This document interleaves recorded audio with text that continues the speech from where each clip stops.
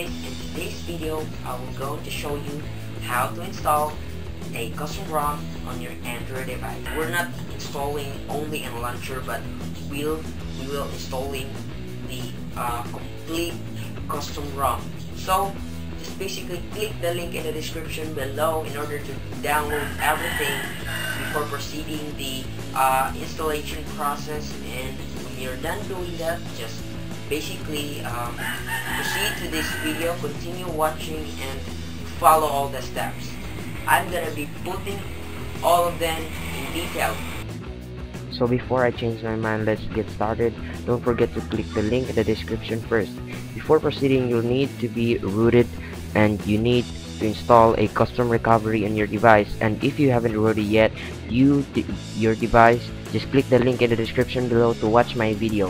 So the first thing to, you need to do is to uh, install a custom recovery on your Android device. So just download first Flashify in a Google Play or just in the, your browser by clicking the link in the description below in order to um, make it quickly so when you're done downloading the file all you need to do is to install it and make sure you have rooted your device or else this one will not work and just basically first click the link in the description below name the TWRP recovery which we were going to flash right now. And just basically you'll need to uh, download that first and store that on the SD card or wherever.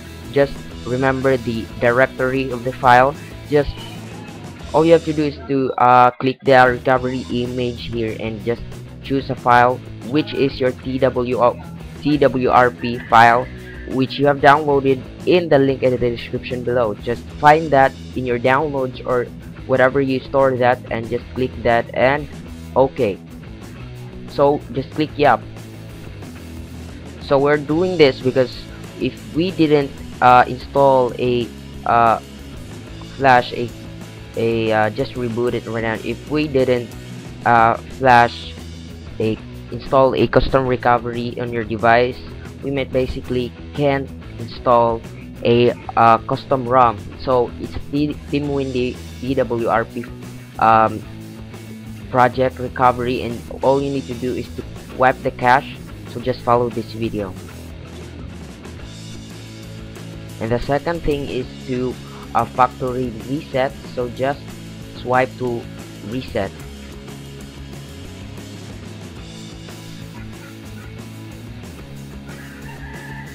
so when you're done doing those two of them just install it install it and just find the Galaxy S4 Beta 1 Wi-Fi 11 and just wipe that and just click that and swipe that to flash.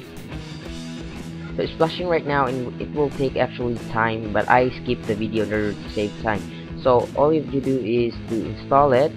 Will take maybe 15 to 20 minutes. Just wait for that and just uh, next and the next thing you'll need to do is to reboot your system. So it's the logo there is the Samsung Galaxy S4 which is great. And as you can see the Samsung um, boot animation there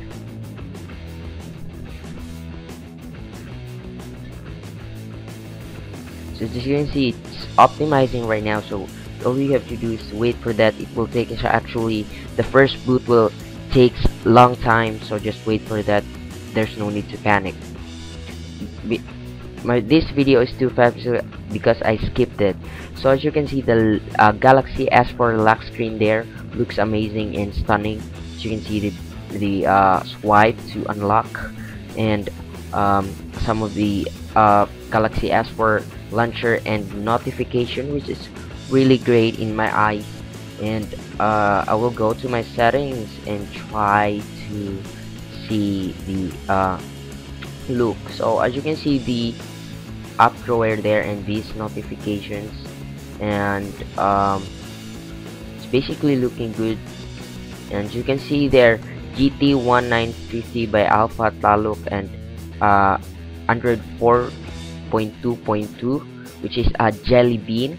And uh, let's try to see the android version. As you can see it's android 4.2.2 jelly bean and some of the um, feature there. So that's it for this video and hopefully this video for you. So if you found this video helpful and if you didn't subscribe to my channel yet why not try it out? Subscribe. And if you like this video you can just click the thumbs up button there. And if you have some thoughts ideas and suggestions what I have to make my video next you can just comment down below and request for me to make my new video. So uh thank you for watching and see you in my next video